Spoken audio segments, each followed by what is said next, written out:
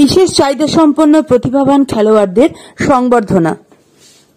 বিশ্ব প্রতিবন্ধী দিবস উপলক্ষে শনিবার Siliguri players welfare and rehab society সংবর্ধনা জানায়।